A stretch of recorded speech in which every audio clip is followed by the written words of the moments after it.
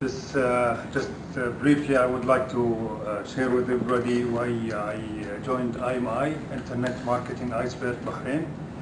Uh, basically, uh, I saw that the future is coming through the internet marketing, and we are living a publishing revolution.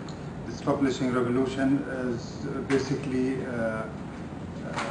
it's the contents that is uh, put in the internet by the people and uh, also edited by the people.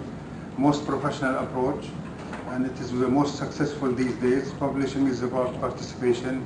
Participation is the conversation, and the conversation creates communities.